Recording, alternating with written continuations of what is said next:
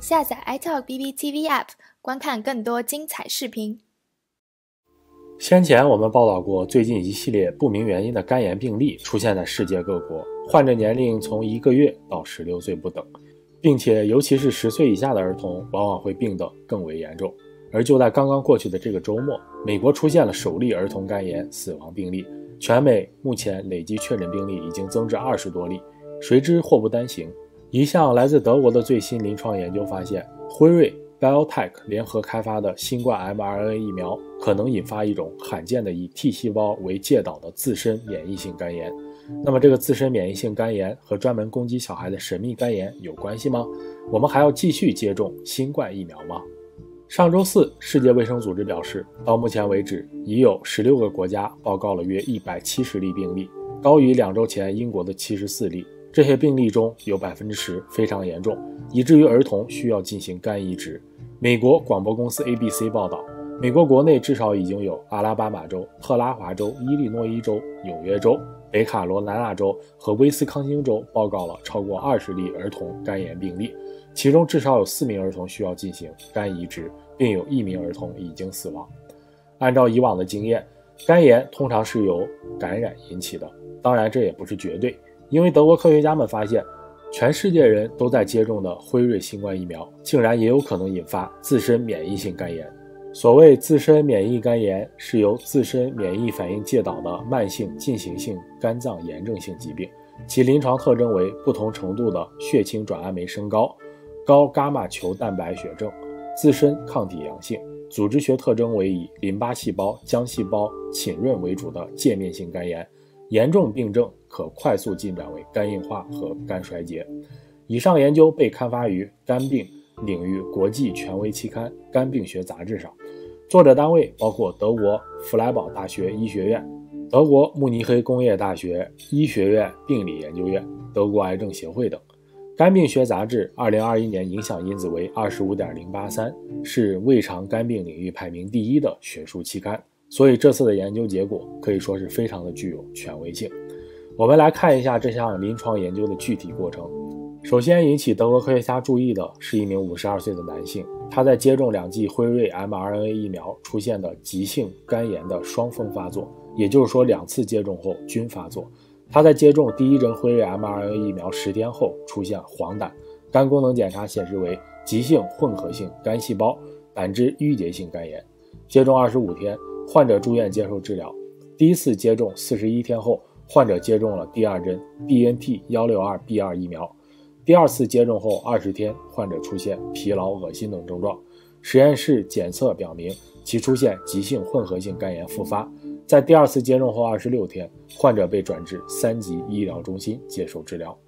那到底是什么引发了这位健康男性突患肝炎呢？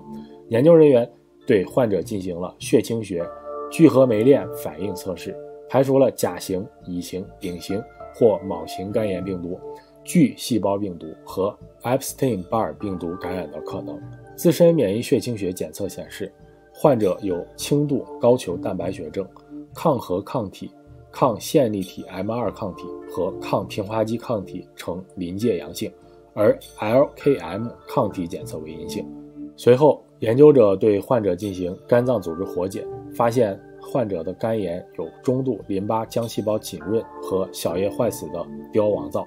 于是，研究者确信这名52岁患者的病症与自身免疫性肝炎表现存在一致。患者接受每天9毫克布地奈德的治疗后出现好转。但是患者在接受治疗三十九天后又复发了。研究者表示，是由于布地奈德激素治疗减量后导致的肝炎复发。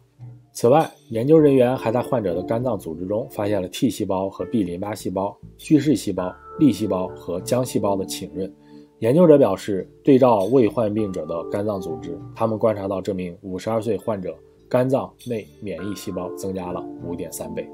研究认为，从机制上讲，这名五十二岁的患者症状不同于典型的自发性免疫性肝炎，后者通常与外周免疫球蛋白升高、浆细胞为主的浸润和突出的界面性肝炎有关。在这一临床案例中，虽然外周免疫球蛋白和肝内 B 细胞和浆细胞的肝内富集略有升高，但在细胞毒性 T 细胞的水平上观察到更显著的相关性，包括新冠疫苗引发的新冠病毒 S 特异性反应活化的细胞毒性 T 细胞在患者肝脏中高度富集。以至于它们成为了患者肝内最为富集的免疫细胞群。值得注意的是，这些新冠 S 特异性 T 细胞的外周激活状态与肝炎严重程度和引入免疫抑制治疗后的临床病程相关。研究团队认为，接种 BNT 幺六二 B 二疫苗可能通过引发的细胞免疫机制引起免疫介导的肝炎。